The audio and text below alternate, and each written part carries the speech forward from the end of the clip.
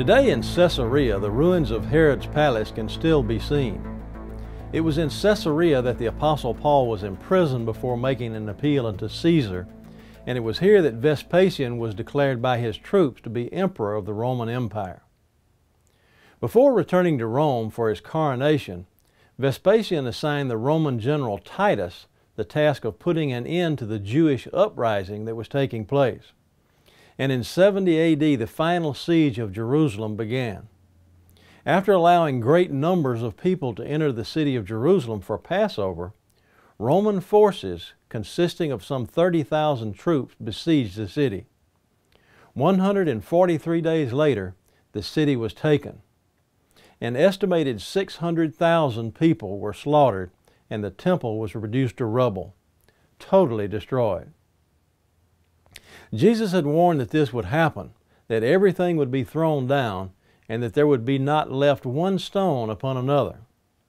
He said that when this began to happen, that people should leave the city, and only those who received their Messiah listened. They knew the voice of the Good Shepherd and obeyed. Well, we know from history that those people not only believed in Yeshua, Jesus, but they kept the commandments of God. Now, why is all this important? There's overwhelming historical documentation that within only 100 years after the time of Christ, commandment keeping believers had been driven away from Jerusalem.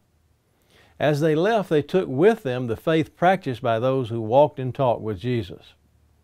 Shortly after that time, a pagan city was built upon the ruins of Jerusalem, and along with the city came pagan traditions of Rome that would have a great impact on the Christianity of future generations.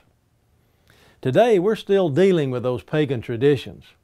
Time is the ally of deceit, and over the past 2,000 years, traditions that cannot be found in the Bible have been gradually introduced and are now accepted by mainstream Christianity.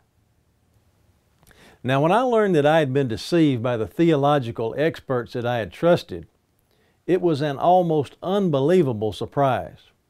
I had to make a decision. Did I want to defend my beliefs or did I want to know the truth? We all have to make that decision. Well, I decided that I wanted to know the truth and as a result I began to document my findings. After 20 years of work, I've published those findings in two books, too Long in the Sun, and Time is the Ally of Deceit. The new book, Time is the Ally of Deceit, is also available with an optional 5 DVD study series. Satan, our adversary, is the father of lies and the master of deceit.